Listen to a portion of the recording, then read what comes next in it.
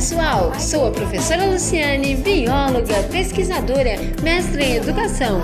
Sejam bem-vindos ao canal Dinamizando Ciências, feito para você que quer compreender de forma simples o fantástico mundo das ciências. Se inscreva e participe dessa aula.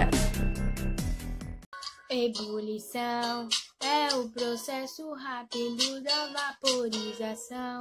Inversamente tem a condensação. Se sua forma muda também, temperatura passa de 100. Mas me fala sobre a fusão, ou talvez sublimação. Que muda do sólido para o gasoso. E aí vai estudar você pode cantar, é só decorar, a nós se juntar.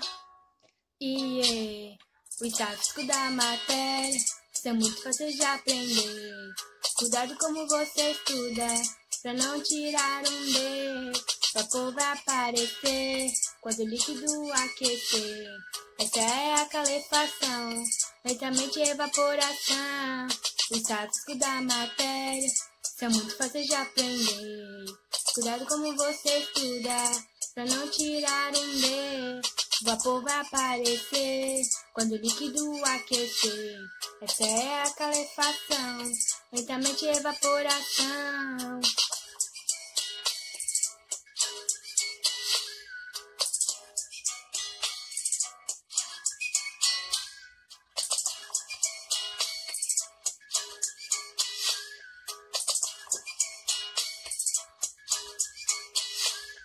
Ebulição é o processo rápido da vaporização.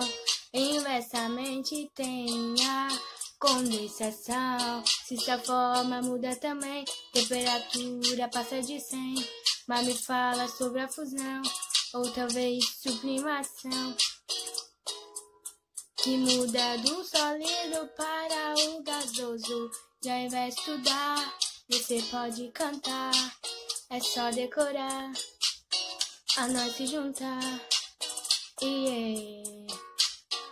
O estático da matéria, isso é muito fácil de aprender. Cuidado como você estuda, pra não tirar um D.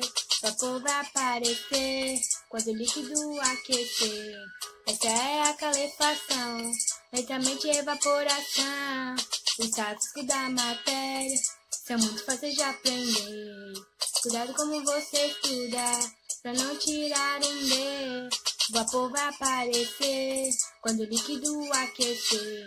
Essa é a calefação, lentamente evaporação.